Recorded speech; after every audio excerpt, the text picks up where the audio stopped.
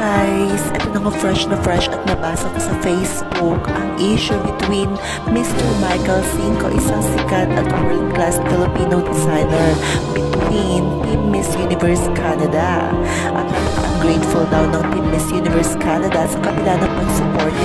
Michael sa kanila sa kanilang candidate na si Nova Stevens at na ni Mr. Michael Cinco si Nova para hindi makapasok sa semifinals dahil daw hindi nag-fit ang mga gown nito.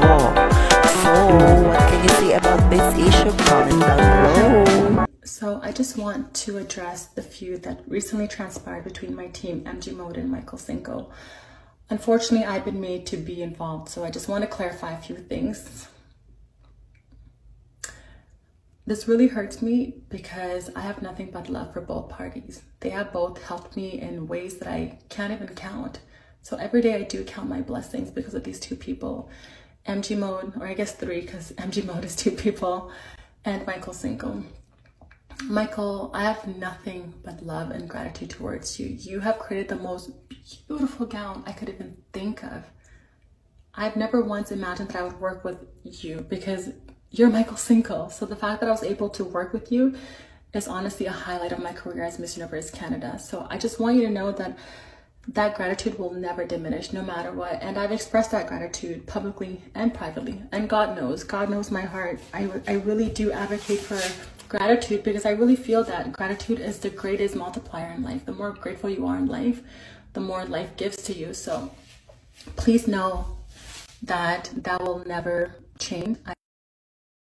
And will always be grateful towards you because you have been nothing but kind to me. Nothing but kind yeah, this this really breaks my heart because I love you both so much and you both helped me in many ways I can imagine. MG Mode, you guys know I love you so, so much. You have made my dream of meeting my family a reality along with Ethiopian Airlines and the Miss Universe Canada organization. So just to have these two highlights of my career be attached to such negativity is what I don't like. I don't like that at all because I want to look back and think, wow, I've worked with Michael Cinco, the Michael Cinco. And wow, I met my family.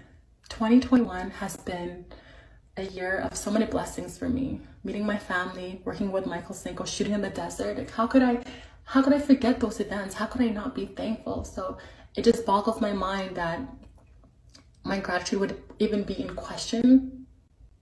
Anyone knows anytime I talk about my gowns and these three individual actually i always express nothing but thanks because they have all been so great to me. So please all i'm asking is that you attach these great events of my life with positivity because they've been nothing but positive for me. Working with michael cinco that's a once in a lifetime. Not everyone gets that opportunity. And i will forever be grateful and seeing my family all this happened during a pandemic and all of this happened because of Miss Universe Canada and MG Mode and Ethiopian Airlines. So I just want you guys to stop fighting. I want this to be taken privately. I don't think